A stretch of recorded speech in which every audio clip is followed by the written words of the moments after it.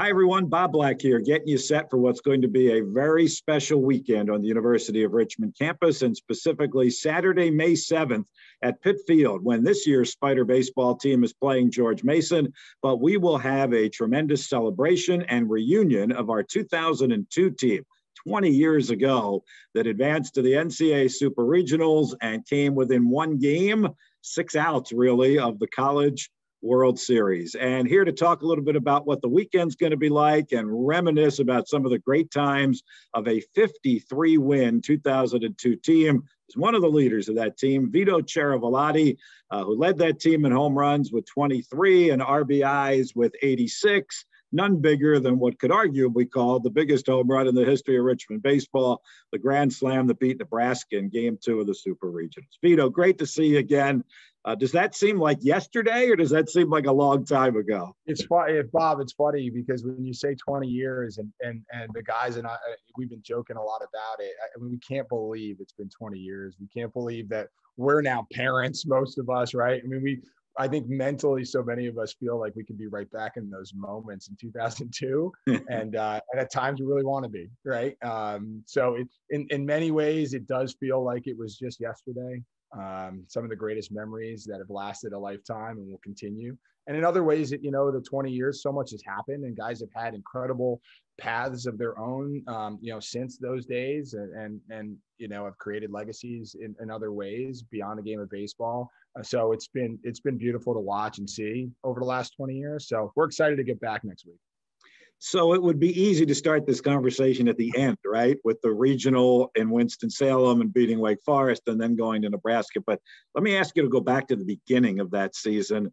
Kind of a great unknown. Uh, this was a team primarily of younger guys in a new conference for the first time, the Atlantic 10. And you guys burst out of the gates and won your first 10 games that year. What was the start of the season like for you guys? And how did that kind of springboard you to where it eventually went?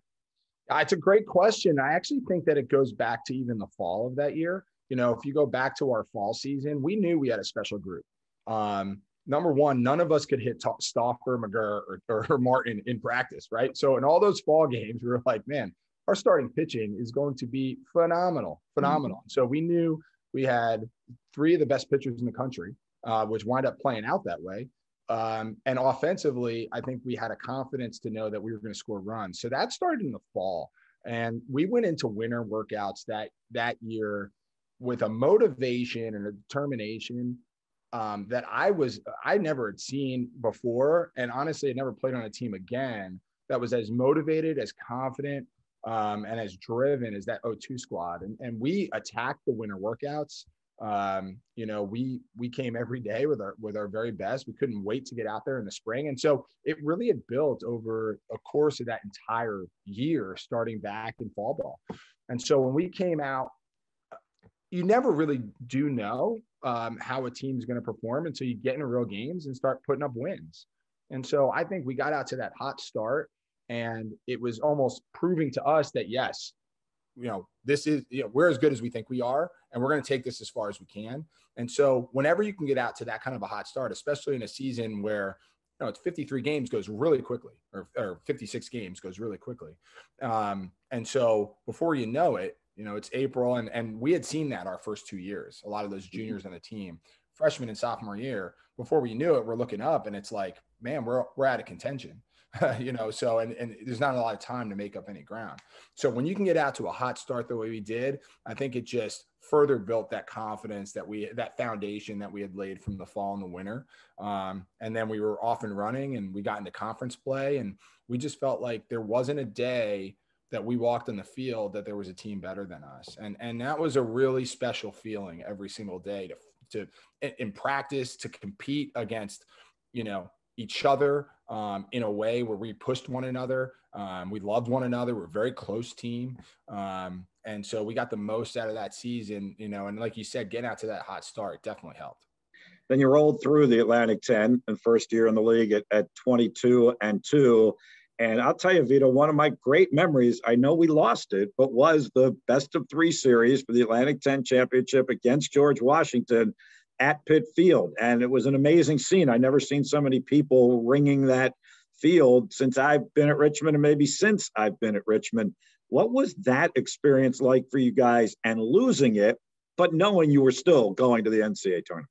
Right, right. Yeah, I think for us, it was a really important factor going into the regional, you know, because not to say that if we would have won the conference tournament, that we would have um, not won the regional, but I think for us, it really was like, hey, like we got to make sure that we show up every inning, every day. And GW, they played us hard. I mean, they always played us hard. We had great series against them. They had some really exceptional pitching. Um, so those were battles. Those games were definitely battles. But to lose, I'll never forget losing that series and and all of us being extremely disappointed because I think we had no doubt that we were the better team. And we really, I don't want to say we took it for granted, but I do think it, it, it gave us a sense of urgency going into the regional. Like, hey, let's leave no doubt here. Like, let's go in, leave no doubt who the best team in this region is. And so it gave us that little bit of extra motivation. But I remember that series very well. And it was um, it was a it was it was a tough series, but I remember how packed it was. It was a lot of fun to play. Um, and like I yeah, I, we, there weren't many crowds that we had played in, in front of that were that big. All right, on to better memories. The regional tournament down in Winston-Salem and getting the host team, and I think they were ranked fourth in the nation in Wake Forest. That second game, Vito, had to be the key one uh, that we beat Wake Forest and forced them to have to beat you guys twice. And of course, I think the signature moment in that game was the Brian Pritz throw to third base to David Reaver for the double play that ended the first Wake Forest game and put you guys in the driver's seat, right? And I can still see Reaver after that tag, you know, coming up and showing showing the ball to the ump and and us going nuts after that game. And yeah, I mean, those are, that was intense. That was intense. And Pritz had done it all year, by the way. Let's not. I mean, you know, we can't forget how good of a defensive player and how accurate of a throwing arm Brian Pritz had. I mean, mm-hmm. I don't mm-hmm. know how many assists he had. You'd have to look that up, but I felt like there wasn't a guy who could run on him. Um, so it was phenomenal to watch him um, in center field every day. We just, you know, we had such a great defensive team. Um, you know, obviously the offense spoke for itself and the pitching. We're just well balanced. But uh, but that was big, and we had no doubt going in. Hey, we're gonna we're gonna take this one, and then we're we're going to Super Regionals. All right, well, take us to the final day because the first game against Wake had beat us twice, and they did in extra innings, which set the stage for one game winner take all you knocked in four runs in that game and made sure the Spiders were going to the Super Regional. What do you kind of remember about that day? And once you got into that second game, knowing it was one and done for both teams. Yeah, I mean, look, obviously the pressure was on for sure, but I think again, a hallmark of that team was we never lost belief in ourselves.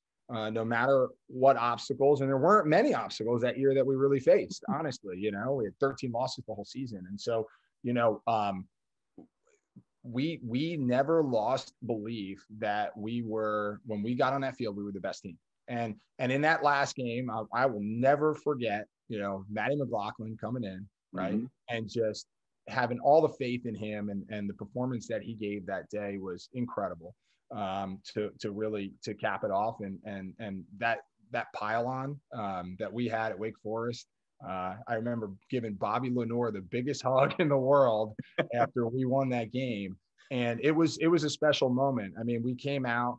Um, uh, we really believed that we were the better team, but I think that after we lost that game, you know, the prior game, we knew we respected Wake Forest. Obviously, um, we had great respect for them, but we just felt like it was our year, and we felt like we deserved to get to the supers, and and and and we did it. And we proved it, and it was uh, it was outstanding. It was a great great day. And then there you are, Lincoln, Nebraska against the Nebraska Cornhuskers, super regional. Ironically, what, 60 miles away from Omaha? That's geographically how close you were. And then from a game standpoint, how close you guys came. Um, what do you remember about game one that set up game two and your heroics, where we had, you know, two of the aces of staffs in the entire country in game one that they won two to nothing before the dramatic game two grand slam that you hit? Well, I remember game one, you know, being really disappointed that we couldn't offer more support to Stauffer. He pitched a great game. I think I, I you have to correct me. I, I, believe the two runs were unearned. I think one, uh, one of the two. Yeah. One of the two runs was unearned. Yeah. Yep. And I just remember the feeling of, you know, we know we can hit and and look, Shane Komine was an outstanding pitcher and he had our number that day. I mean, we just we were off balance. We we we really couldn't get the barrel of the ball. Um, we couldn't get anything going. We just felt like uh, um, you know we couldn't get base runners on him, and, and he pitched he pitched a, a great game. Um, you know, but I, I know how disappointed we were to waste a great start by Stauffer. Um, and so you know we were all disappointed that night going in, and uh, we knew we knew we had to win obviously game two, and and we did not want our season to end clearly. Um, we got a heck of a pitching performance in game two, obviously by uh, by Thomas Martin, mm-hmm. and then um, you know we were we were fortunate enough to be in the right spot there to to to be the home team that day to get a crack at it in the bottom of the ninth and get get a bunch of guys on base um, to make it really easy to you know give us opportunities to score a run score run in the ninth to win it. So um, you know it was uh, uh I'll never forget the crowd. I mean, I, you know, I played baseball a long time and and I had never seen a crowd like that. I've never seen, you know, the the amount of red shirts in a crowd. And I remember us purposely wearing red on Friday because we wanted to, we were just, we had a little edge to ourselves, right? We, we wanted to show up and we're like, oh, you're going to wear red? We're, we're going to wear red too.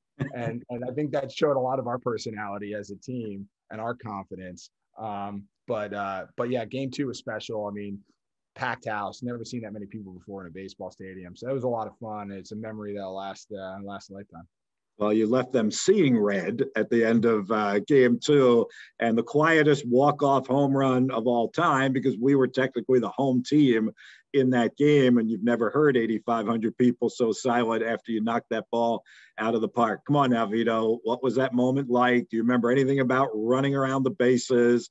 about the crack of the bat, uh, you know, that moment, how you're going to tell it to your young kids when it's time for you to, to, to brag about what dad did in college. Yeah, I mean it's unbelievable, and you you hit it on the head when you said do you remember running around the bases. I really don't. Um, I remember the pitch very well. I, I, feel like I can be back in the batter's box for that moment for sure. Um, I'm just glad I swung at it. Right, it's like one of those things where you see it and and and you're just glad that you put a good good good hack on it and and you found the barrel but after that it, it all does kind of blur away. Um, the next thing i remember to be quite honest with you was um, was us winning the coin flip for the next day. And i remember how fired up we all were to be the home team in game three to have mikey mcgurr going out there for us. And so you know we i remember leaving that field having 100% certainty that we were going to the College World Series. And um, although it didn't work out, to to have that moment in time and to remember that feeling that all of us had going into sleeping that night, believing we're going Omaha.